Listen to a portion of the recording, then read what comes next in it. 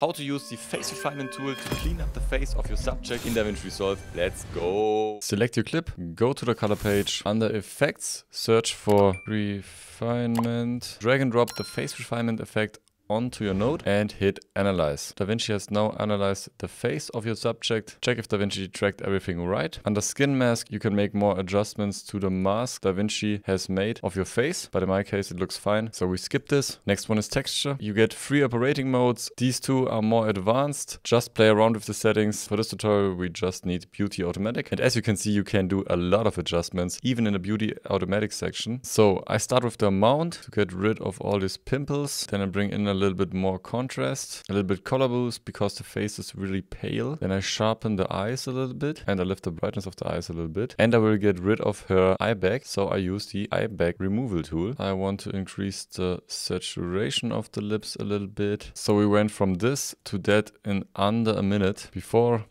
after. Go. Thanks for watching. See you on the next one. Like and follow if you want to learn video editing fast.